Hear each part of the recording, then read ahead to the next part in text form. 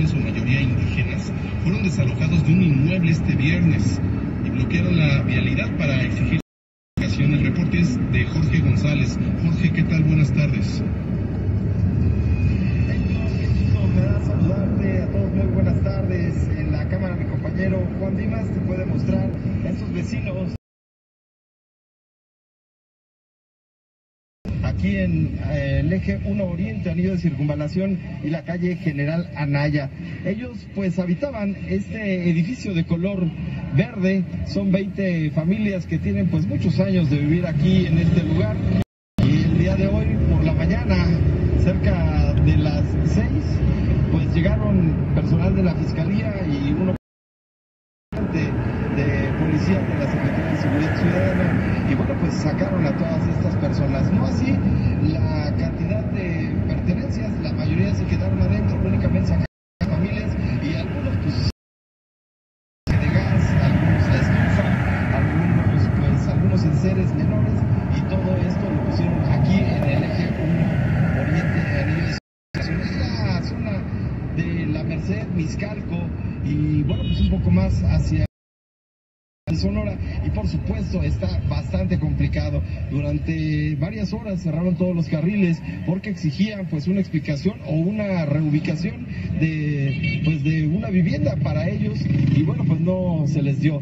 Fueron a hablar con autoridades del gobierno de la Ciudad de México, accedieron a retirarse de tres carriles así como están en este momento y los otros tres los están bloqueando. Lo único que les prometieron fue que van a poder sacar sus pertenencias y posteriormente inscribirlos a todos ellos, a las 20 familias, en los programas sociales para tener acceso a una vivienda del INVI. Así es que bueno, pues ellos ya en unos minutos más se van a retirar, van a quitar todos los enseres que tienen aquí a lo largo de esta importante vía y posteriormente se retirarán a la casa de, de algún familiar o posiblemente a algún hotel o a algún lado que pues ya no van a poder habitar este edificio de cuatro pisos. Héctor.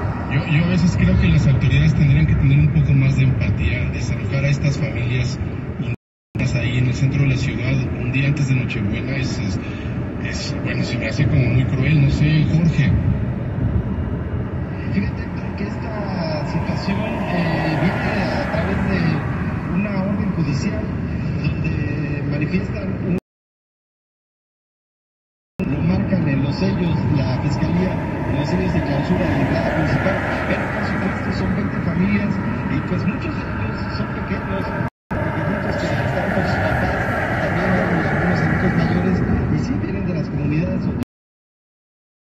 triquis que bueno pues habitaban este, este lugar. Así es que bueno pues desgraciadamente pues se van a quedar sin hogar en Nochebuena. Qué barbaridad. Jorge González, como siempre, te envío un abrazo. Gracias por el reporte. Buenas tardes. Hasta luego, Héctor. Un abrazo. Gracias. Faltan cuatro minutos antes de las dos de la tarde. Vamos a una pausa. Ya volvemos.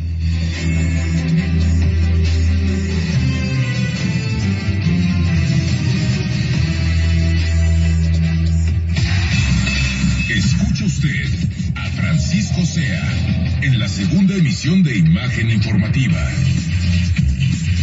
Porque Sea sí lo dice.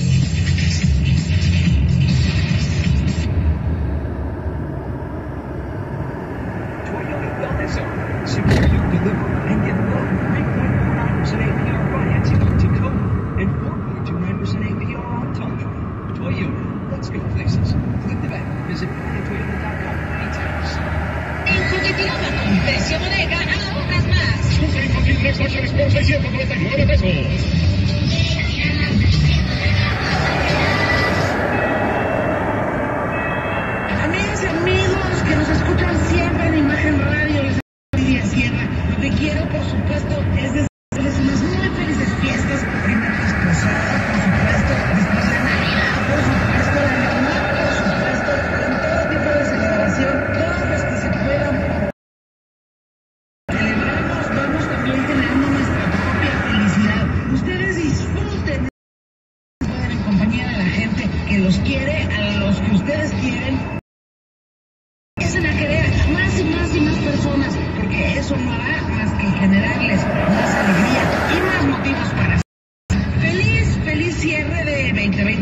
y una extraordinaria apertura de 2023. ¿Cuáles son las plagas de la madera? La madera puede sufrir el ataque de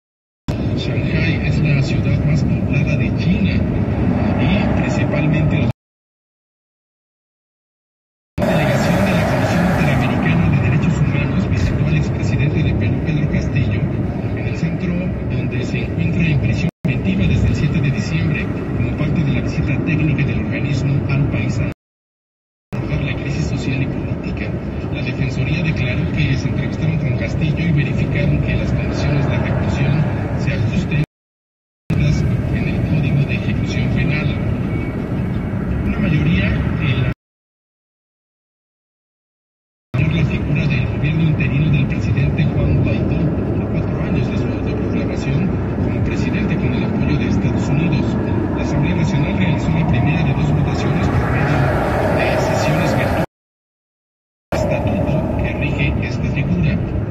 Este viernes el gobierno de Chile declaró estado de catástrofe en la localidad costera de Viña del Mar en la región de Valparaíso por un incendio forestal que avanza a la ciudad y, que, y ya personas heridas, así como 400 casas incendiadas y 110 hectáreas consumidas. La gran tormenta que afecta parte de Estados Unidos ha dejado a miles de personas sin electricidad y sin poder viajar en avión en vísperas de la Navidad. Es que según autoridades meteorológicas, alrededor del 60% de la población de Estados Unidos, estamos hablando de millones de personas,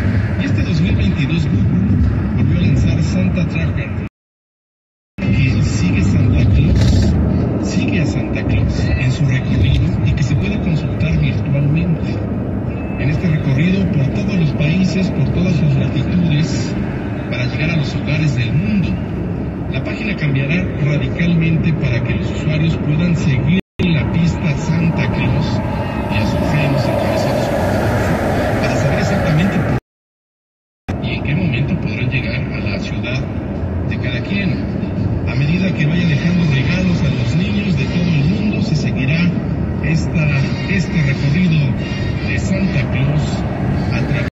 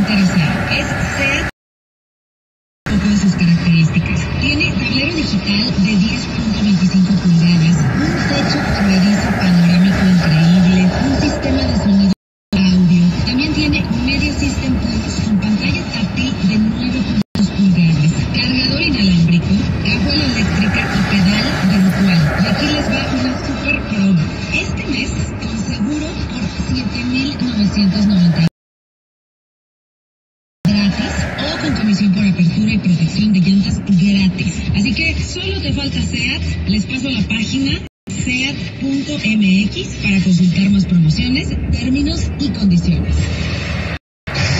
Comunícate con Héctor Figueroa en arroba imagen Héctor.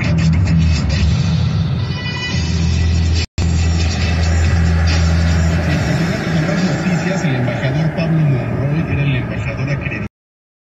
Señaló que el gobierno mexicano ha puesto sobre la mira ciertas interrogantes sobre la legalidad del proceso de destitución de Pedro Castillo como presidente de Perú.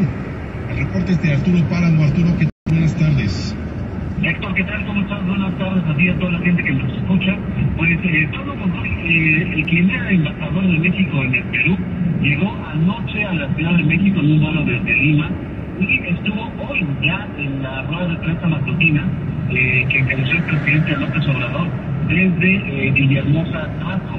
Ahí este embajador de México en Perú pues, dijo que hay tres cosas que tenía como prioridad. Primero, obviamente, eh, ver por los mexicanos que estaban, eh, ya sea eh, eh, como turistas, habitando de manera temporal allá en el Perú. A todos se les localizó y ya se les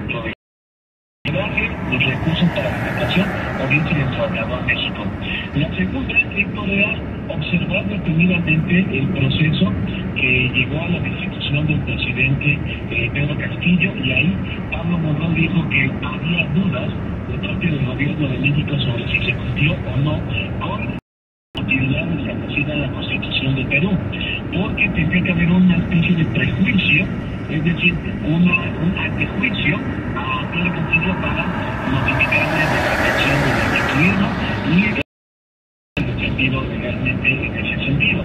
Esto, al parecer, es lo que los mercados que se haya llevado. El De Pablo Morón dijo que tal vez había violado el debido proceso en toda esta, en todo ese tema jurídico que hay en torno a Pedro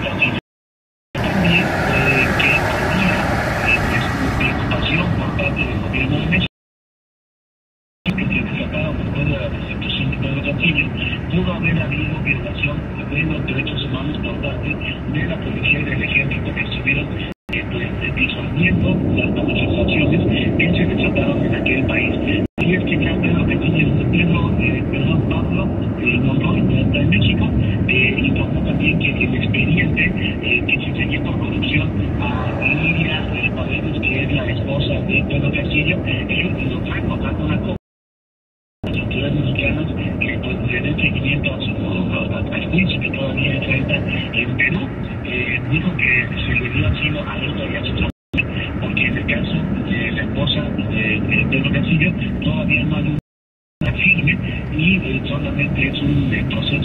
administrativo, que no tiene todavía, eh, todavía no sentencia, por lo tanto.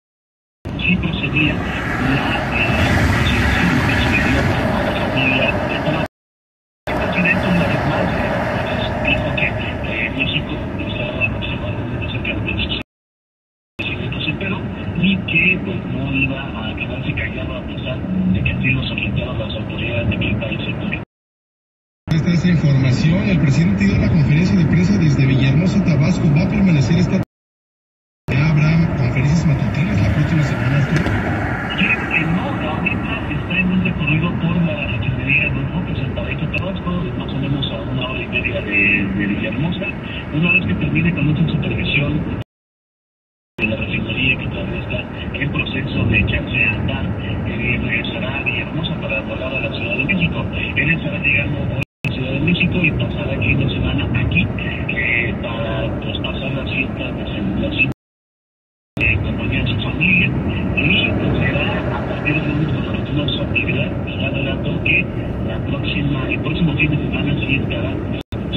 it and got some. Uh, it's um,